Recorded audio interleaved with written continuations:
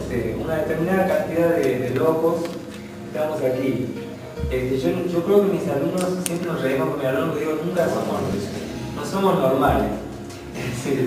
Los normales, si alguno de ustedes fuera normal, digamos, no estaría en este taller, porque creo que somos este, personas con búsquedas especiales. Yo lo que los convoco es a que armemos un grupo de acá a y que todas estas cosas que estamos haciendo las transitemos. Que si en algunos ensambles o en algunos talleres tenemos que discutir, pelear, discrepar, sería porque estaríamos poniendo ganas a esto.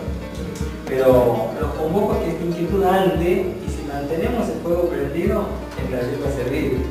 Por supuesto, somos libres, tanto yo de seguir viniendo, como ustedes seguir apostando a esta propuesta que yo les hago, que es una propuesta.